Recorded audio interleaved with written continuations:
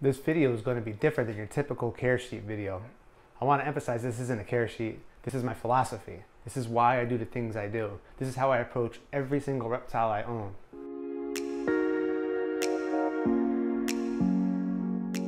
Now let me back up real quick and give you a little history on me so you can see where I'm coming from. Now I'm not some type of expert. I don't have 5 million animals. I'm just somebody who's been passionate about these things for a long time. When I was younger, we used to get a lot of wild caught animals and it was really hard to keep them. There's certain tricks and stuff that I learned to keep them alive. I'm a new breeder to ball pythons. I got boas. I got some things in here that I really enjoy. Now, while I'm new to snakes, I'm not new to reptiles. I've had lizards since I was a kid. I've had so many lizards. I've bred bearded dragons and chameleons and leopard geckos and all sorts of things. So I have a lot of experience with lizards. I don't have a lot of experience with snakes, but my philosophy applies to everything, given the room. When I approach a reptile, I don't approach it thinking that I know what's best for the animal. I approach it like I don't know anything about the animal. The animal's the expert. The animal knows everything. All I try to do is give it everything it needs to survive. What I mean by that is I offer it choices, whether it's humidity, heat, hides, um, darkness, light, like you name it. I try to put as much as I can in a spectrum. I try to let them pick and choose what they want when they want it instead of me deciding what they need when they need it. So basically, this philosophy is that I'm not an expert, the animal's the expert. When I try to set up an enclosure, I try to set up an enclosure that will allow for all of the basic life events to happen within it. I don't want to, have to add things or take things away in order for things for basic life events to happen. Now, obviously, there's cons to this type of setup, which I'll get into later, but animals will truly thrive in these environments. I'm going to show you my Tegu's enclosure only because I'm in the process of, well, I'm about to start building his new enclosure. While I have this uh, enclosure setup, I think it's a perfect time to show you guys because this particular enclosure will actually work for a lot of things. A little bit of variations, maybe a better lid, but like ball pythons, leopard geckos, bearded dragons, like uromastyx, garter snakes. I mean, a lot of things can live in this style of enclosure. Okay, so let's go meet Brody and see his enclosure. All right, so this is Brody's cage. Um, don't make fun of the top. This was temporary. I was fully committed to not spending a single dollar on this top because I knew it was just gonna be temporary. We're actually building his new cage here, and it's gonna be massive, eight feet, maybe a little bit more, and uh, pretty high. So that cage is gonna be permanent. I have to actually do work around here first. I have to paint the walls, I have to redo the floors, I have to put new windows down here because once this thing's in here, I'm not gonna be able to get in. So it's a pretty big project. I've been dreading it, but you got to do what you got to do, right? So, all right, so this is the top. The top, it's, it's, pretty basic. I have weights on it because he's strong. He climbs up on everything, just pushes himself right out. He actually escaped like the second day I had him when he was little. The top's just set up where the heat and humidity will hit the top, and then there's a couple holes here in a crack, but and then there's a gap in here, and there's gaps actually underneath where it can come out. So there is airflow. The problem with with uh, the problem with setting up enclosures is airflow. Airflow is one of the most overlooked aspects of reptile husbandry. And I'll get into that a little bit more later. But I'm gonna take the top off and we're gonna dive in. Okay, so the inhabitant of this enclosure is Brody. Brody is, I think he's like nine months old now. He's a Chacoan Tegu. Um, he's a sweetheart. He's a little skittish, he's a little shy. He comes out, you can hold him. He prefers to be on your shoulder. All right, so this is a galvanized horse trough. It is uh, four feet by two feet by two feet it um, it's great because it can actually hold water, so we won't, have to, have to worry about rusting or anything like that, which is important when you have this much moist dirt in here. Now the dirt is just a mix of different things. It's got peat moss, um, topsoil, sand, uh, probably some dirt from outside. I don't know. It's been it's, it's a lot of different things. Um, what I try to do is I try to make it so it's like it could hold a, bur- a burrow pretty good if you dig, um, but you don't want it to be soaking wet on top at all times. Um, it's about, I'd say about, it's probably about a foot deep, but he's always pushing it around and moving it. So it's probably deeper in spots, lower in others. Uh, he does burrow. I find that a lot of animals will burrow. What I do is I, I mix it together and then I start playing with it. And I decide whether I need more peat moss or the dirt or whatever it is, sand, to make it how I feel. And how I feel about the type of dirt is subjective. It's just something I, I can't explain. It's just, I, I go like this. I, I clump it up. I'm like, ah, this thing holds a burrow pretty good. And that's about it. I don't want it collapsing on them. I don't want it to sit there and stay wet forever. Uh, after, what I usually do when I, I add water to this, to the dirt, is I think torrential downpour. I don't think um, a little bit of misting or rain, I take like um, pitchers of water and I just pour it in, flood the place, and then it'll soak in. It'll be soaking wet in here for a few days, but then it'll dry out. And then what I'll do is once I put my finger in here, it's like an inch or two down is dry. Then I'll add more water. It usually takes like a week or two, or two or three, depending on the season. And the lighting over here, I have UVB. I have two 38 watt halogen flood bulbs. I have two of them to make it larger because he's large. Um, it also provides a decent heat gradient. And then these things right here are called, uh, I think they're called Retes stacks. This guy Frank Retes, if I'm saying his name right, he is the one who made them popular. It's usually spread out more, but he pushes everything around. Actually, I have a bunch of them. And when you make these things, you can make them any way you really want. You can literally just line the enclosure, the whole thing with it if you really want. And the idea is to make wood stacks so that they, the animal can go in there. He can hide. They can hide in all the cracks and crevices. Um, there's different levels of humidity. So if you go in here, say by the dirt, it's going to be more humid. If you go by the, the heat, it'll be hot, humid, hot, dry, depending on where the animal wants. Also, I like to use these little thinner pieces of wood, they're like uh, oak or or birch or something. And the reason being is that when it heats up, the inside will actually be warm too. So he can go under the top layer and get heat which is nice. This options.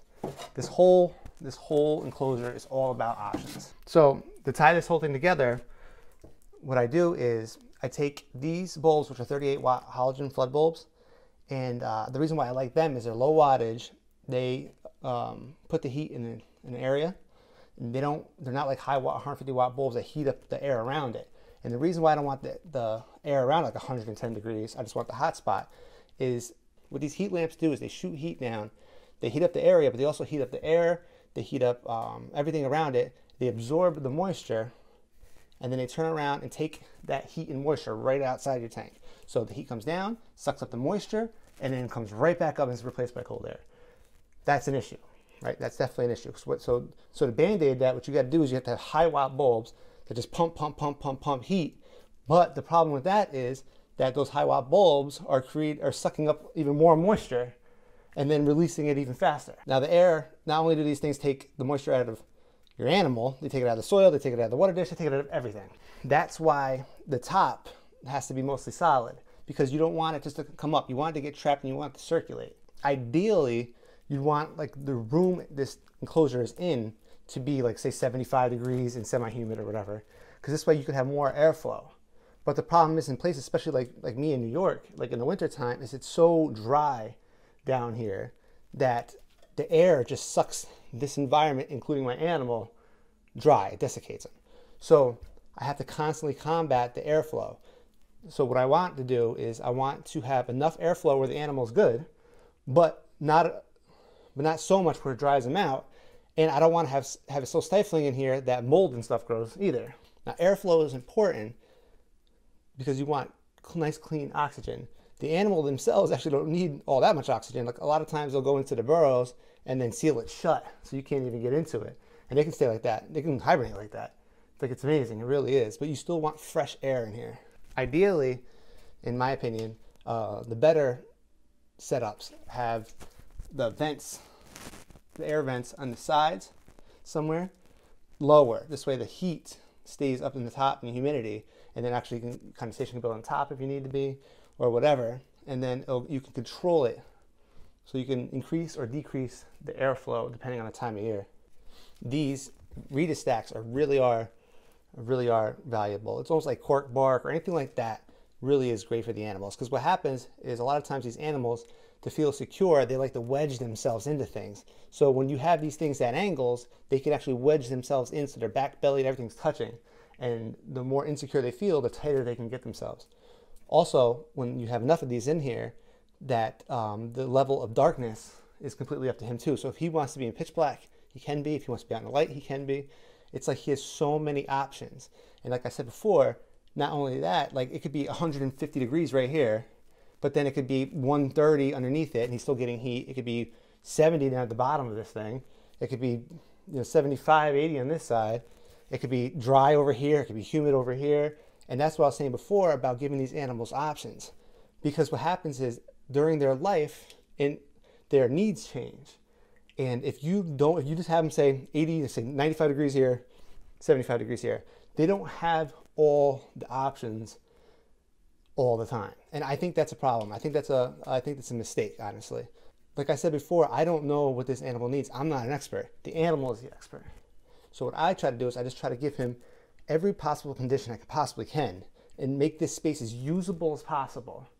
And then just and just sit back and let the animal do what he does best. What's great about this environment, like I said before about um, having all his basic life events, is that you he can or she can um, eat, sleep, hibernate, lay eggs. I mean, you name it. I don't have to add or take away from this. I used to have more of those stacks in there, but he's just too big and he just pushes everything around too damn much at this point. He can't fit into anything anymore. He really needs a bigger enclosure. I think a mistake a lot of people make when they get an animal is that they will go onto um, the internet and see where it lives and say, okay, well, its average is 85 degrees and 40% humidity.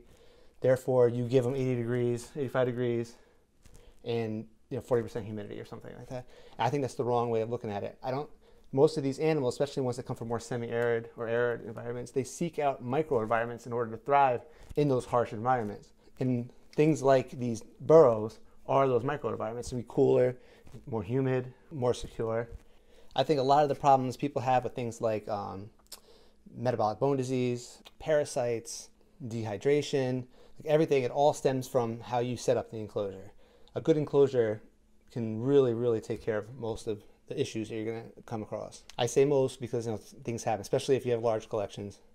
The probability plays out. Sometimes I'll see pictures of these large enclosures, like the size of a room, and uh, what's great about those is you have space. The animal can move. And if you have something from a climb on, he can climb. So there's all sorts of activities there.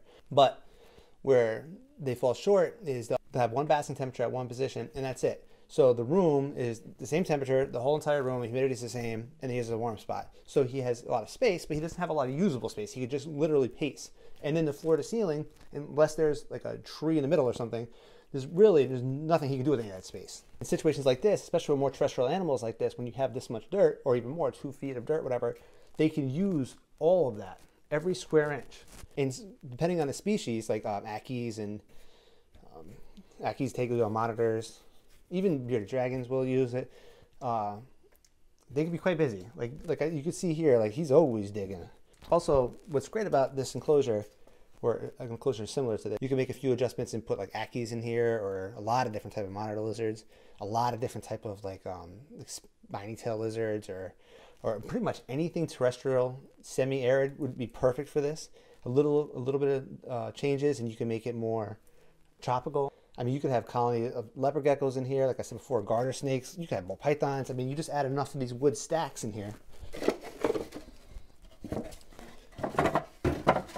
you add enough of these wood stacks in here, and it's like, you know, it's wood piles. You could put 10 more of these things in here, and the whole top could be these wood piles, and it's just cracks and crevices. And I mean, there's plenty of places for animals to hide and secure. And it's almost like if you went outside and you were digging through a wood pile looking for snakes. Like, that's what you're creating in here. Now, we'll, we'll see Brody. Ah, let's see if we get Brody. There he is, big fat head. This guy is always hungry. I fed him already today, but he is always hungry. He acts like he hasn't eaten in a long time, and he acts like if he doesn't eat it this second, that he's going to die, like all the time. But his appetite perfectly reflects his growth rate. He eats like a beast and grows like a beast. I mean, he's nine months old. He's got to be three feet already. He's not hibernating, so I'm assuming he's going to get even larger. Also, with the dirt, if you want, you can do what's called a cleanup crew. You get like roly polies and like little bugs and stuff, and isopods, or and they'll actually clean up any of the little bit of food that he doesn't eat or poop or whatever you don't get, and makes it bioactive and it makes it so that even if he goes to the bathroom, you pick it up, it doesn't smell in here. It's not like a carpet or something where it'd stink if he went to the bathroom on it. This is Brody. I call him Brody because he walks like he's brolic. I just took him out from underneath those boards and he's warm because those boards heat up. So underneath the board is warm. So it's almost like he's still basking while hiding. My goal of this video wasn't to show you a big fancy or extravagant enclosure. It was to show you a very simple, easy to do enclosure that's actually better for these animals than like something like with like, rep the carpet and one hotspot. And it's amazing what you learn from these animals when you stop thinking you know everything. If you like this video, do me a favor, like it, subscribe to my channel, follow me on Instagram and Facebook and Snapchat and TikTok and everything. I'd really appreciate it. And uh, thanks for watching.